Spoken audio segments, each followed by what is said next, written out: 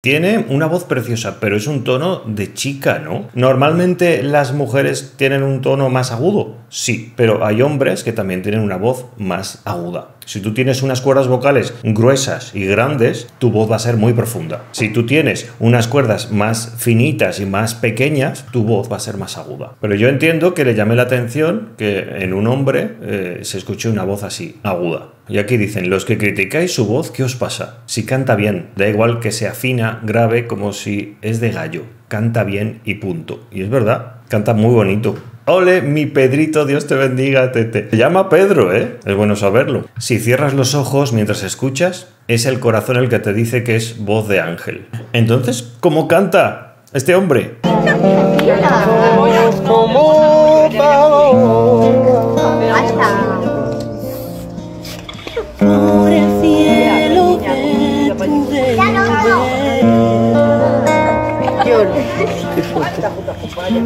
Siento el latido de tu rosa ¿Lloras a que sí también? que desprende aroma de mujer.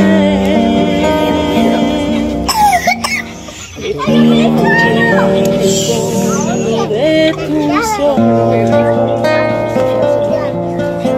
El camino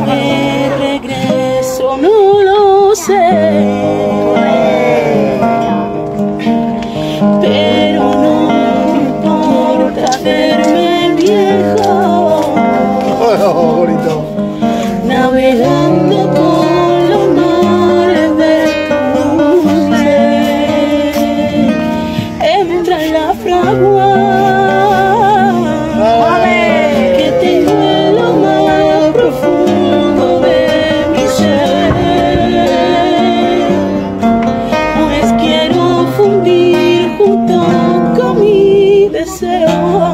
Navegando en el muro de tu ser. Oye, yo me voy a quedar aquí.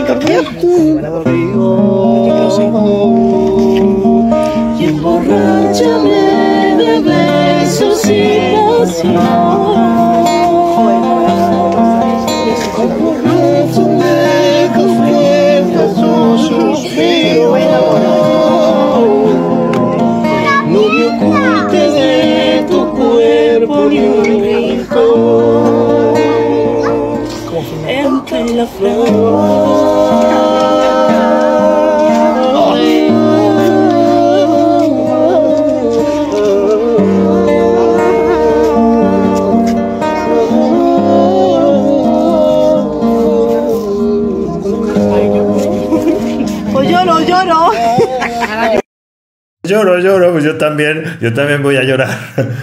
Precioso las armonías que hacen los tres. Me recuerda mucho cuando yo me iba con, mis primos a, a tocar así en la calle y disfrutábamos un montón y nos olvidábamos de todos los problemas, no había estrés, no había nada, en ese, era un momento mágico.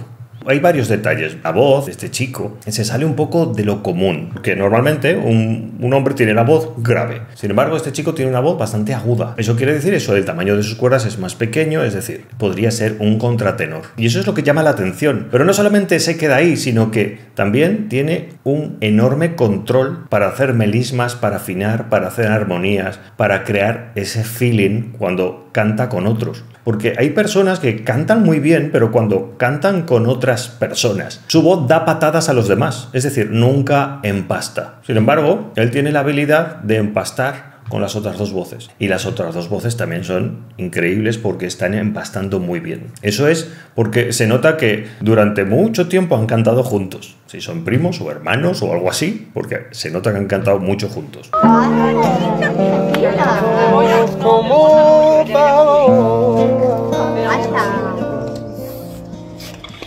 Y aquí me estoy dando cuenta de una cosa, ¿vale? O, es lo que yo percibo.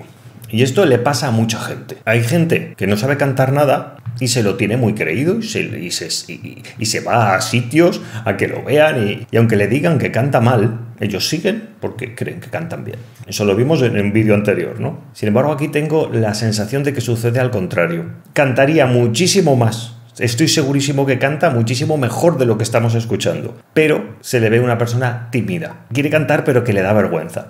Y se ve en que al inicio es este chico de aquí el que inicia la canción para darle pie, para decirle, venga, como una invitación a que se arranque a cantar. Y él hace gestos todo el rato de humedecerse los labios, está tenso.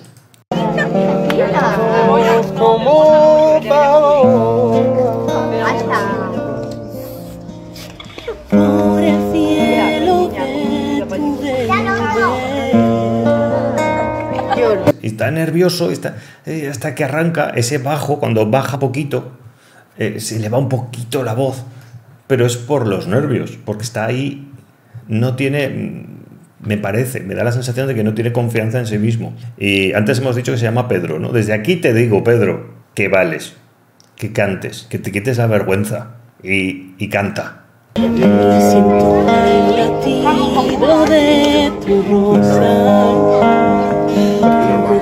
¿A que sí también? que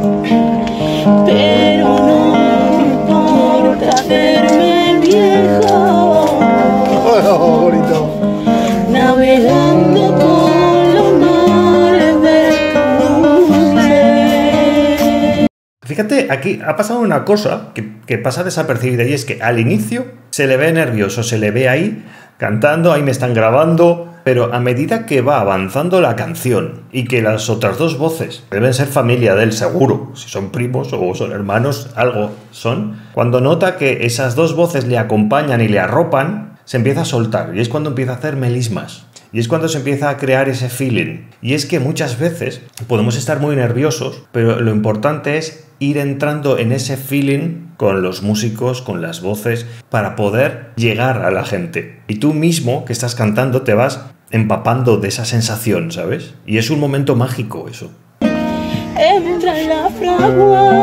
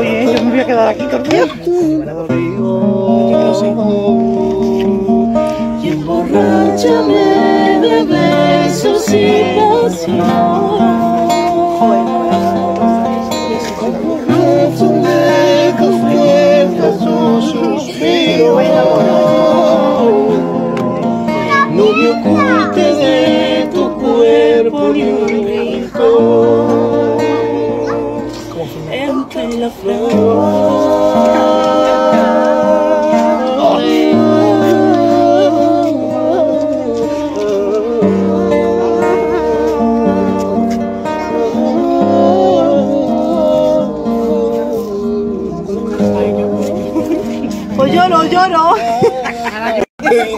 Es cuando acabas como que despiertas y haces, ¡ay, qué ha pasado! Cantar es algo mágico, no solamente para el que lo escucha, sino también para el que lo, lo pone en marcha, ¿no? para el que canta. Y por cositas así son por las que yo eh, sigo en esto del canto. Y aunque muchas veces eh, uno puede entrar en la rutina, de decir, ay, tengo que salir aquí, tengo que salir a, tengo tantos bolos o tengo que cantar en una boda, tengo un concierto y entras en la rutina, nunca debemos eh, dejar de lado esa sensación, ese sentimiento que nos hizo ponernos a cantar. Y bueno, yo me despido ya. Ya sabéis que si os quiero un montón, un abrazo de parte de Ale. Ya está.